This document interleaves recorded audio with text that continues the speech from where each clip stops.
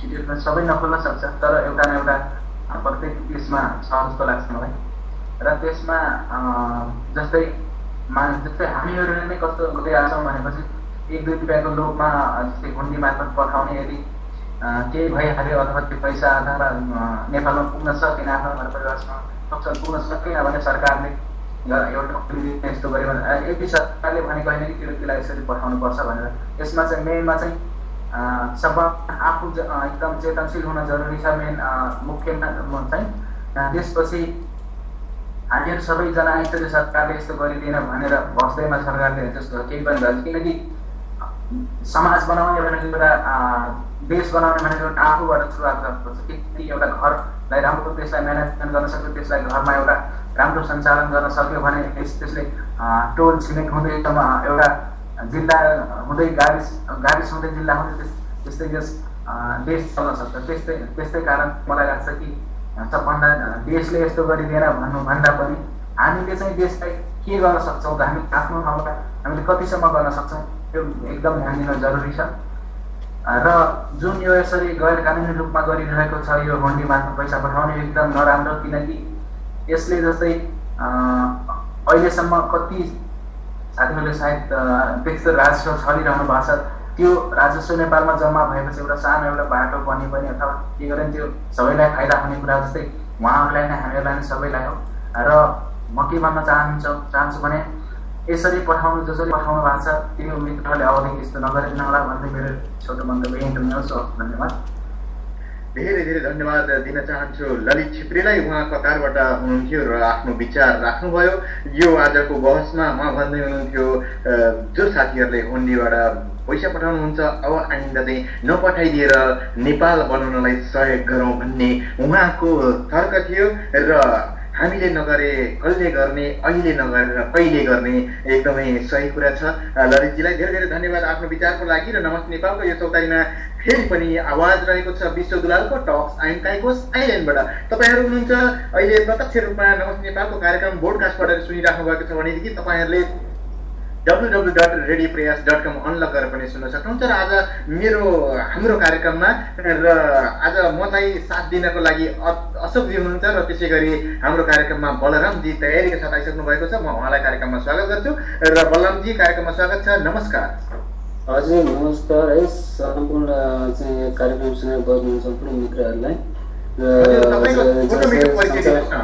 म बलराम चोलक है अहिले चाहिँ हाल चाहिँ लन्डनमा छु घर चाहिँ मेरो चितुङ जिल्ला सौरा है हजुर एकदमै तपाईँ कार्यक्रम सुन्दै हुनुहुन्छ र तपाईँलाई पनि थाहा छ आजको कार्यक्रममा हाम्रो विषय रहेको छ र यो विषयको बारेमा तपाईँको विचार अब रेडियो प्रयासमा हुन्छ म अब कार्यक्रम गर्न चाहन्छु होइन सर्वप्रथम यो विषय भनेको एकदम गम्भीर विषय हो जस्तो हामीले अब हुन्डीबाट चाहिँ पैसा पठाइरहेको छौँ यो चाहिँ एकदमै गैर कानुनी चाहिँ काम अब हो भनेर हामीलाई थाहा हुँदा पनि हामी चाहिँ पठाउन बाध्य छौँ किनभनेदेखि अब एउटा मानिसहरूले चाहिँ के छ भने हामीलाई चाहिँ अलिकति नाफा हुने एक लाख पठाउँदाखेरि हामीलाई दस पन्ध्र हजार चाहिँ फाइदा हुन्छ भन्दै हामी किन चाहिँ हामी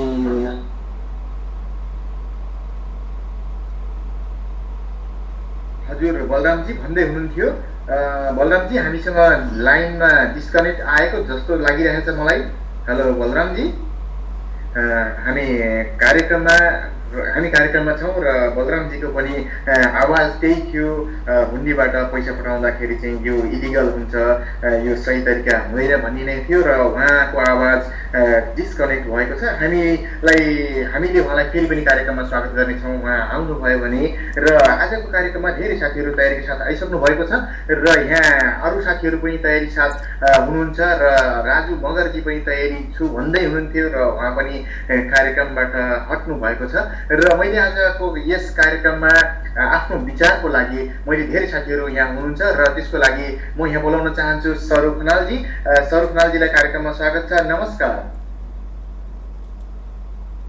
हेलो स्वरूजी कार्यक्रममा स्वागत छ। नमस्कार। स्वरूप खनालजी हुनुहुन्छ इजरायलबाट र मैले फेरि अर्को आवाज पनि आएको छ यताबाट। हेलो स्वरूजी सुन्दै हुनुहुन्छ मलाई? उहाँले आवाज दिन सक्नु भएको छैन र म अर्को मित्रलाई बोलाउन चाहन्छु। उहाँ हुनुहुन्छ जमुना सापकोटाजी। जमुनाजी कार्यक्रममा स्वागत छ नमस्कार। हजुर नमस्कार।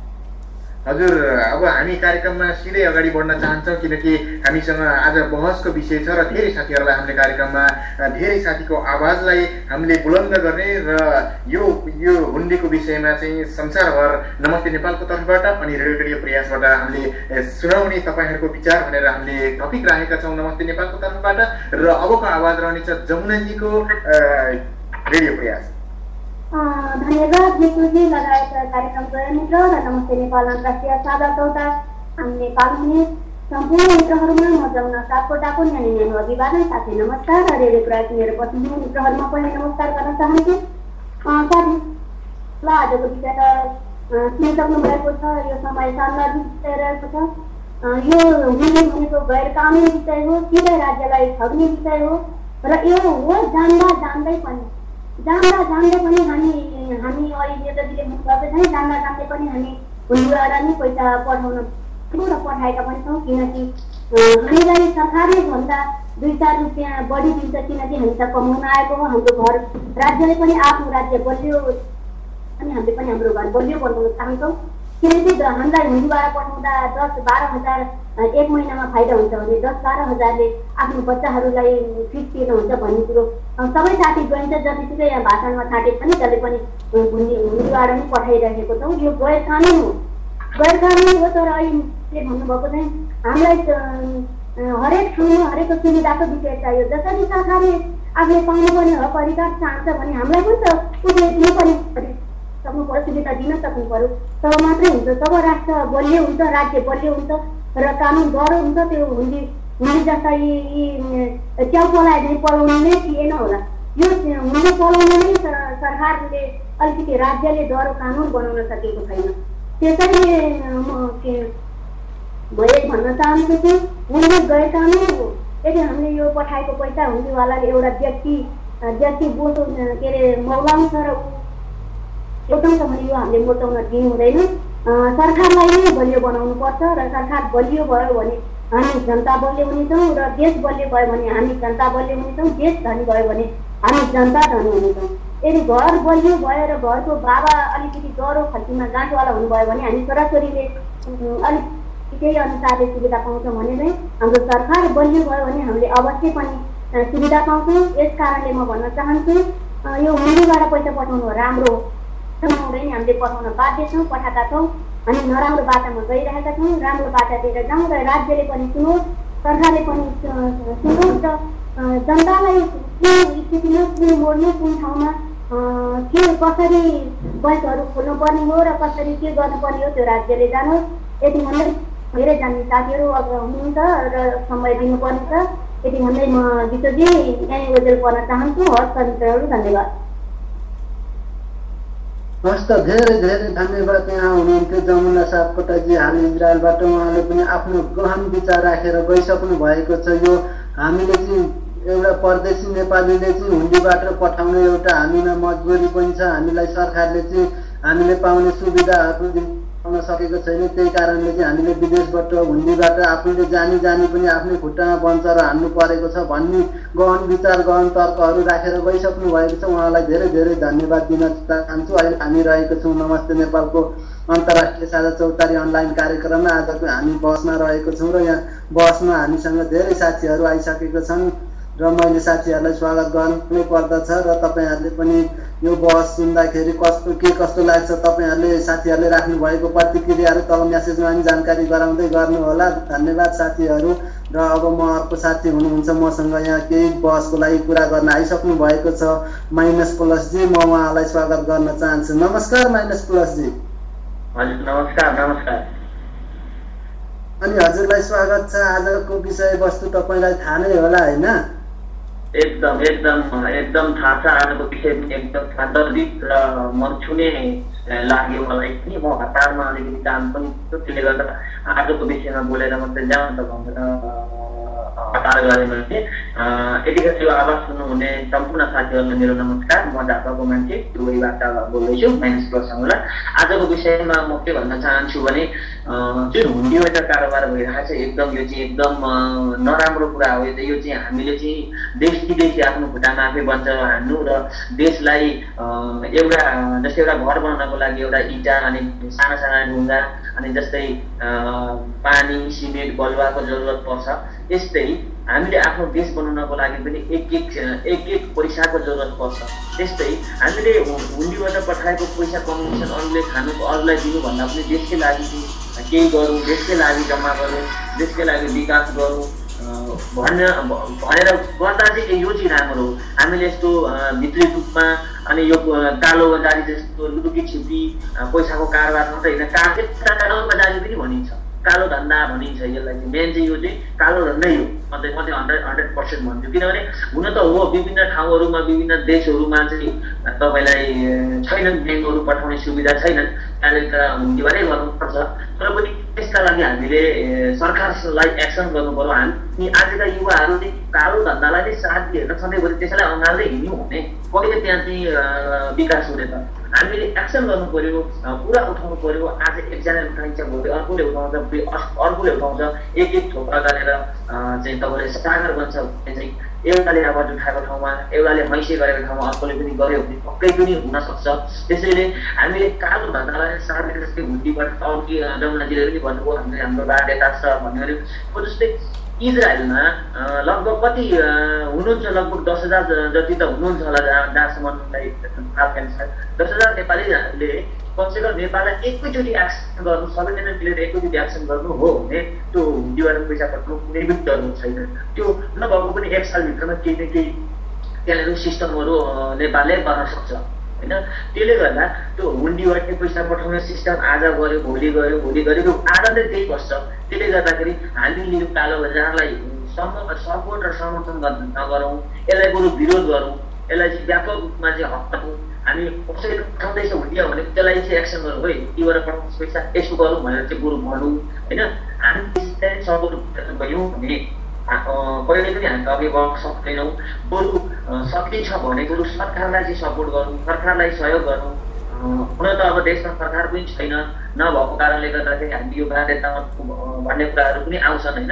तर कसरी चाहिँ त्यो त्यो सम्बन्धित निकायमा राख्नु पऱ्यो नि त कुरा सम्बन्धित ठाउँमा भन्नु पऱ्यो डेली डेलिगेसन जानु पऱ्यो जस्तै राजदूतावासमा गएर हामी यस्तो समस्यामा छौँ यसरी त हजारौँ मान्छेहरू चाहिँ हुन्डीबाट कारोबार भइरहेको छ यसको लागि केही पहल गरिदिनु पऱ्यो भनेर चाहिँ कमसे कम पन्ध्र बिसजना मान्छे एक एकमुष्ट भएर गएर राजदूतावासमा गएर कुरा गर्ने हो भने पक्कै पनि सबै देशहरूमा राजदूतावास त छ राजदूतावासमा गएर त्यो कुरा गर्ने हो भने केही न केही त निष्कर्ष निस्किन्छ नि निस्किँदैन र निस्किन्छ नि।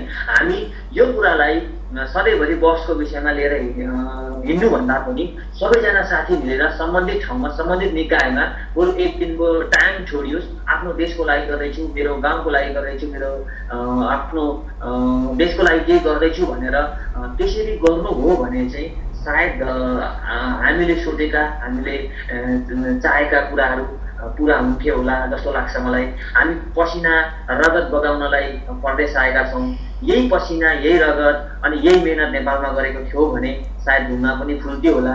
तर हामी व्यवस्था छौँ कि प्रदेशमा आएर अर्काको देशमा कमसेकम पन्ध्र घन्टे ड्युटी त्यो पनि तपाईँलाई पचपन्न डिग्री अनि पचास डिग्री सेल्सियसमा खटिरहेका छौँ। त्यो पनि हामीले गैर जिम्मेवारी तरिकाले त्यो पैसा पठायौँ भने जन हामीले देशको लागि के गरेका छौँ केही पनि गरेका छैनौँ। त्यसैले यतिखेर यो आवाज जतिले जहाँ जहाँ जसरी सुन्दै हुनुहुन्छ हामीले यो कुरा बोलीमा मात्रै सीमित नराखेर एकचोटि व्यवहारमा पनि लागु गर्छौँ जहाँ जहाँ ब्याङ्कहरू जहाँ जहाँ हुन्डीको कारोबार हुँदैछ त्यस्तो ठाउँहरूमा एकचोटि गएर एकचोटि एकचोटि दुईचोटि गएर चाहिँ कमसेकम राजदूतावासमा गएर त्यो बिन्ती गर्दाखेरि सायद केही न केही उपलब्धि हुन्छ। भनेर सम्पूर्ण साथीहरूलाई यो आग्रह पनि गर्न चाहन्छु। र चाँडै नै जहाँ जहाँ ब्याङ्कहरू छैन जहाँ जहाँ हुन्डीको व्यवसाय हुँदैछ। हुन्डी समाप्ति भएर चाहिँ त्यहाँ चाहिँ ब्याङ्कबाट सुरु भयो भन्ने कुरा चाँडै चाँडै नै खबर आओस्। भन्दै सम्पूर्ण साथीहरूलाई चाहिँ शुभरात्रि भन्दै म बिदा हुन चाहन्छु। धन्यवाद। धेरै धेरै धन्यवाद दिन चाहन्छु। माइनस प्लस सङ्ग्रौला हुनुहुन्थ्यो। हाल दुबईबाट साह्रै नै साह्रै मिठो उहाँको चाहिँ प्रस्तुति थियो र उहाँको बुलन्द आवाज थियो हामीले यस्तो काम गर्न हुँदैन। किनकि घर बनाउँदाखेरि हामीले इट्टा माटो थपे जस्तै देश बनाउनको लागि पनि हामीले हामीले चाहिँ त्यसमा हाम्रो पनि मिहिनेत हुनुपर्छ। देशले मलाई के दियो भनेर सोच्नुभन्दा देशलाई मैले के दिएँ भनेर एकचोटि सोच्नुपर्छ। हाम्रो यो युवाहरूको आवाज हो भन्ने विचार राख्नुभएको थियो। माइनस प्लसजीले उहाँलाई धेरै धेरै धन्यवाद दिँदै आजको गहन विषयमा छलफलको लागि बहसको लागि आफ्नो विचार राख्न आउँदै हुनुहुन्छ अर्को एकजना मित्र। उहाँलाई म कार्यक्रममा स्वागत गर्छु र उहाँ हुनुहुन्छ सविता अधिकारीजी कार्यक्रममा स्वागत छ। नमस्कार। हजुर विश्वजी नमस्कार। हजुर नमस्कार। सँगसँगै आज हामी रहेका छौँ बहसमा। बहसको विषय छ तपाईँलाई थाहा भइसकेको छ हुन्डीबाट पैसा पठाउँदाखेरि देशलाई कति फाइदा बेफाइदा र तपाईँ जस्तै हामी अप्रवासी नेपालीलाई के फाइदा हुन्छ भन्ने विषय हाम्रो रहेको छ र धेरै साथीहरूले आफ्नो प्रश्न विचार राखेर जानु भइसकेको छ र अबको आवाज रहनेछ सविता अधिकारीजीको। रेडियो प्रयासमा रेडियो प्रयास सुन्दै गर्नुहोला। हस् त धन्यवाद।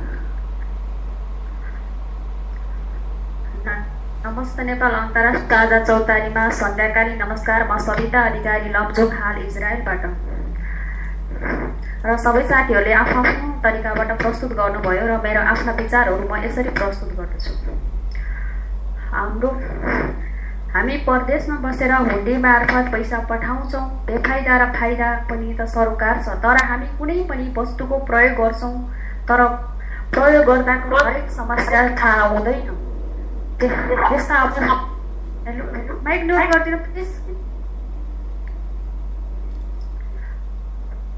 प्रयोग गर्छौँ तर त्यसको प्रयोगको थाहा भइरहेको हुँदैन तर हामी कुनै पनि वस्तुको प्रयोग गर्दा हरेक समस्या थाहा हुँदैन त्यस्तै अवस्थामा हामी परदेशबाट पैसा हुन्डीबाट पठाउँछौँ किनकि उनीहरूले हामी उनीहरूलाई हामी विश्वास गर्छौँ हामीलाई पनि विश्वास गर्ने वातावरण दिएका छौँ समस्या आपतकालीन घडीमा बोल्दाको भरमा नेपाली नेपालमा आफ्नो परिवारलाई पैसा बुझाउँछ। हामी बैङ्कबाट भन्दा राम्रो रेट पनि पाउँछौँ। हामी दुःख र हामी आफ्नो दुःख आपत कसले देख्छ? सरकार सरकारको यसमा यसमा आँखा जाँदैन। हामीले कमाएको पैसा जानु किन? देशको भ्रष्टाचार गर्न नपुगेर हो कि? कानुन बनोस् धरोस् संविधान बनोस्। र त्यसमा हामी तयार छौँ आफ्नो देशको विकास गर्न र सहयोग गर्न। सरकारले विदेशमा जान लागेकोलाई जानको लागि अनुदानको पनि व्यवस्था गरोस्। ऋण धनले कमाएको पैसालाई आज सरकारको आँखा लगाउनु किन? यसमा बाटो राखेको छ हामीलाई। जनताको आवाज सुनेको छ तर हामी यसरी विवादितमा तर्क लान तर्क लान र जानुभन्दा आज इजरायलमा पाँच वर्ष भयो बन्द भएको। किन ओपन गर्न सकेको छैन? हरेक रिक्सबाट गरिएका व्यवहारहरू छ। र यदि इजरायल खुलेको भए पाँच वर्षसम्म कति गरिब दुखी जनतालाई दुखी दाजुभाइ दिदीबहिनीहरूले पनि काम गर्न पाउनुहुन्थ्यो र कति राजस्व देशमा भित्रिन्थ्यो होला? जस्तै त्यसमा सरकारको ध्यान छैन कि अहिले हुन्डीले पैसा लग्यो हुन्डीले सजिलोसँग उनीहरूले आफ्नो व्यक्तिगत स्वार्थ देखेर मात्र हुँदैन। उनीहरूको स्वार्थलाई देखेर अहिले हामीले धेरै न्युजहरू देखेका छौँ। पठाउन त हामी पनि हुन्डीबाटै पठाउँछौँ। आज जति कुरामा आफ्ना तर्काहरू राखे पनि हामी हुन्डीबाटै पठाउँछौँ पैसा। तर सरकारले यसको राम्रो व्यवस्था गरोस्। हामी त्यसमा पनि त त्यसमा पनि सहमति छौँ। घर भित घर भित्रियो भनेर रिस गर्ने किन? दरिलो आधार बनाओस् सरकारले हाम्रा हुन्डीबाट पठाउँदा बैङ्कमा हुन्डीबाट पठाउँदा र बैङ्कबाट पठाउँदामा केही फाइदा फाइदा पनि छ।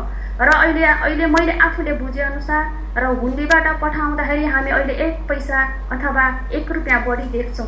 तर बैङ्कमा हामीले हजार डलर पठाउँदा दस डलर तिर्नको लागि हामी हिचकिचाउँछौँ। दस डलर तर तिर्नको लागि हिचकिचाउनुको कारण के भने त दस डलर हुन्डीले हुन्डीलाई हामीले तिर्दैनौँ उसले तुरुन्तै हाम्रो पैसा कति कमिसन खाएको छ हामी त्यसमा पनि वास्ता गर्दैनौँ। र र अहिले मैले आफूले बुझेअनुसार कतिपय दिदीबहिनीहरूको आपतकालीन घडी जसले हुन्डीबाट डाइरेक्ट नेपाल पैसा पठाइरहेको छ र आफ्नो श्रीमानको हातमा पैसा पुर्याएको छ। तर पछि ऊ नेपाल जाँदा उसँग एक रुपियाँ नभएको अवस्था र ऊ बिरामी पर्दा पनि नहेरेको अवस्था हरेक कारण छ। उसले दस पाँच वर्ष इजरायल कमाएको बसेर कमाएको पैसा उसको हातमा छैन। यदि उसले ब्याङ्कबाट पठाएको भए र ब्याङ्कमा उसको एउटा लिखित प्रमाण हुन्छ। मेन हामीले भनेको सरकारलाई राजस्वको मात्र हेर्ने होइन कि आफू दरो दरो हुनको लागि र हामीले पाँच वर्ष कमाएको सबै पैसा ब्याङ्कबाट पठाइयो भने यदि ब्याङ्कमा हाम्रो हरेक प्रमाणहरू त्यहाँ जुट्न सक्छ हामीलाई आपतकालीन घडीमा र कुनै पनि मुद्दा लड्नको लागि एउटा प्रमाण हुने रहेछ। र मैले अहिले भर्खर एक महिना अगाडिको कुरा हो एकजना साथीले सात वर्ष भयो इजरायल बस्नुभएको र आफ्नो घरमा साठी लाख उहाँले आफ्नो परिवारलाई पठाउनु भएको आज उहाँलाई एउटा एक रुपियाँ पनि पठाएको छैन भनेर कस्तो आपतकालीन घडीमा उहाँ अहिले रुँदै कराउँदै हुनुहुन्छ र हुन्डीबाट पठाइएको पैसा थियो र कुनै प्रमाण छैन। ब्याङ्किङ त्यो गैर कानुनी भयो। यदि ब्याङ्कबाट पठाइएको भए उहाँलाई त्यो आपतकालीन घडीमा ब्याङ्कले ब्याङ्कमा हरेक प्रमाण थियो उहाँलाई लड्न पनि सजिलो हुन्थ्यो। र साथीहरू आफूलाई सहयोग गराउन र केही कुराहरू बुझ्न पनि पर्छ। हामी एक रुपियाँको लोभले कतिमा हामी डुबिरहेका छौँ भन्ने कुरा हामी बुझ्दैनौँ। हामी पछाडि पनि हेर्न सक्दैनौँ कि हामी तत्कालीन घडीमा हेर्न सक्छौँ। त्यसकारण मेरो विचारमा हुन्डीबाट भन्दा र अहिले इजरायलमा छन त सनराइज ब्याङ्क पनि छ। त्यो ब्याङ्कबाट पनि हामी पठाउन सक्छौँ। तर हामी त ब्याङ्कको ब्याङ्कतिर हामी कोही पनि जाँदैनौँ कि हामी हुन्डीमै जान्छौँ। र मेरो सम्पूर्ण साथीहरूलाई अनुरोध छ र हामीले ब्याङ्कबाट नै पैसा पठाउँ। र हामी अर्कालाई चोर्यो भन्ने होइन कि आफ्नो मोठ बलियो बनाऊ। हस् त धन्यवाद शुभरात्रि। धेरै धेरै धन्यवाद। हुनुहुन्थ्यो।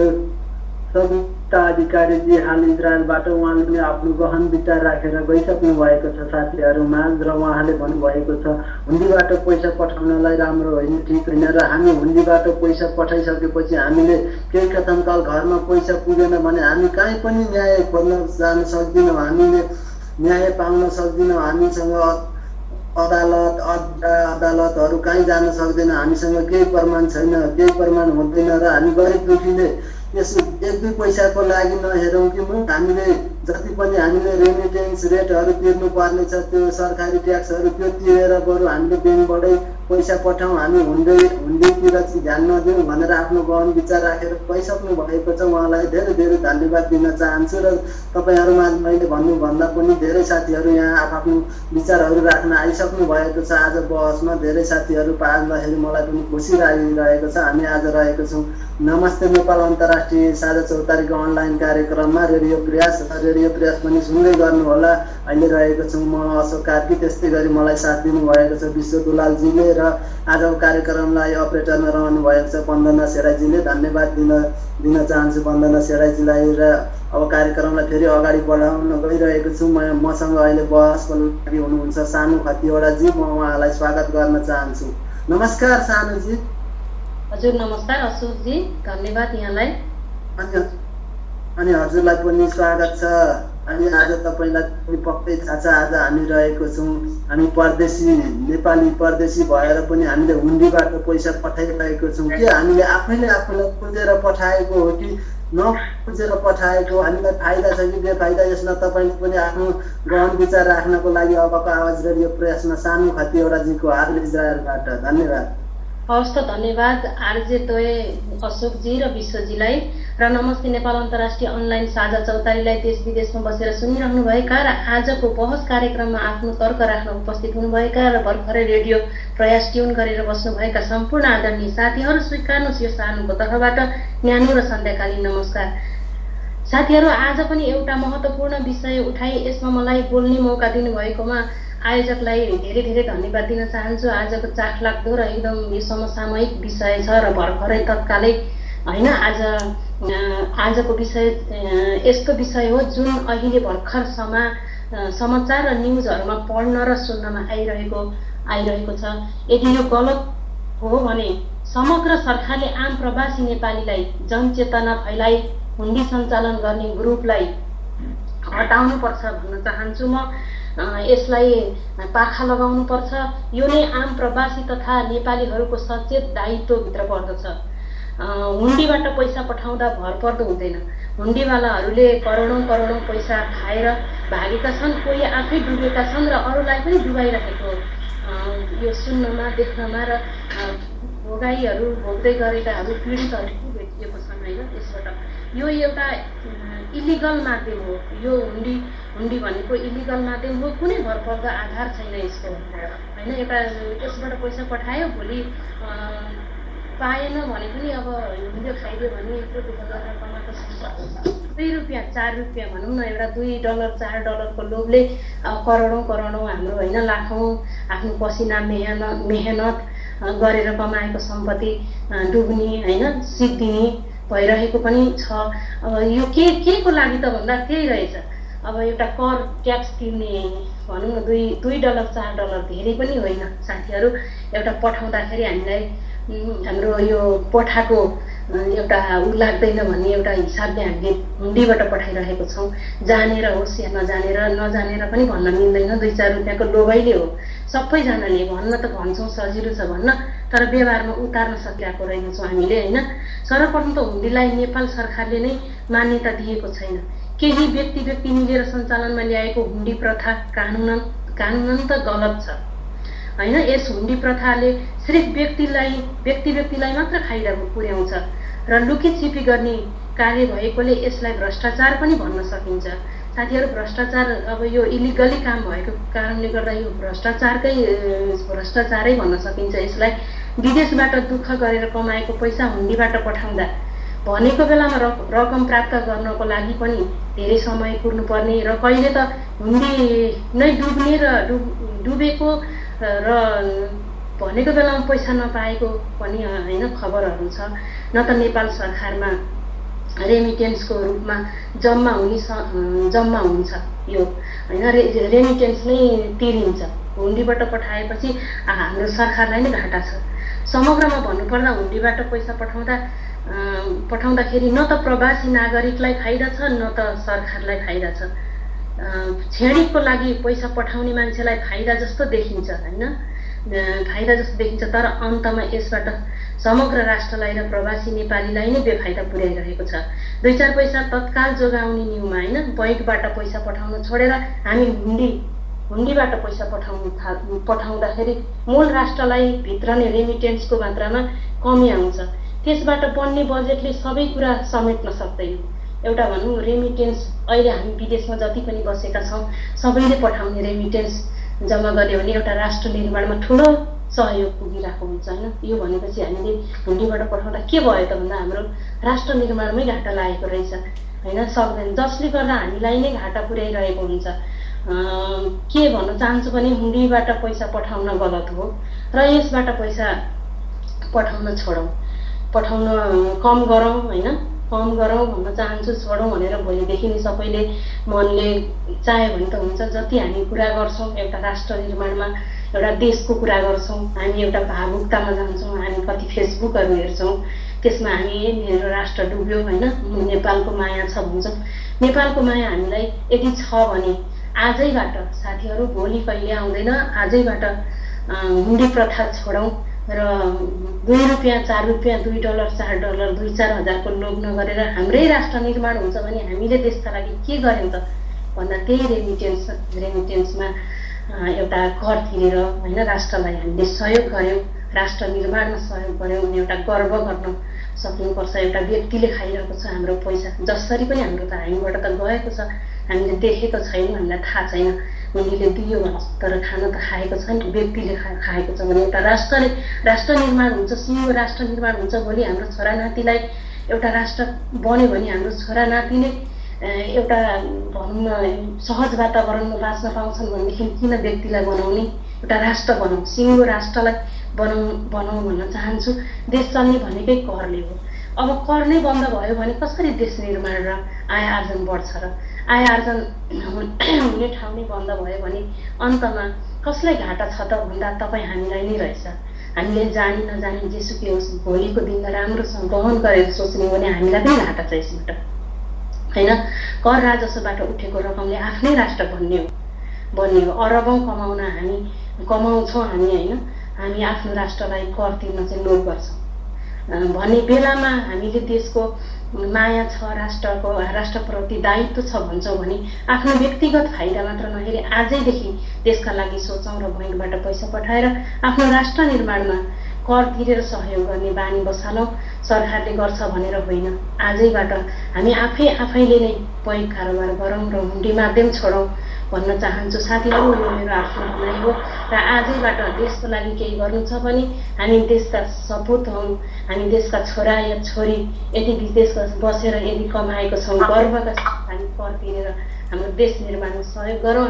भोलिदेखि नै हुन्डी प्रथा छोडौँ भन्न चाहन्छु। साथीहरू हवस् त मेरा दुई चार शब्दहरू यही राखेँ। भन्ने मौका दिनुभयो र सुनिदिनु भयो सम्पूर्ण साथीहरूलाई। धन्यवाद दिँदै गुड नाइट भन्न चाहन्छु। हवस् त धन्यवाद।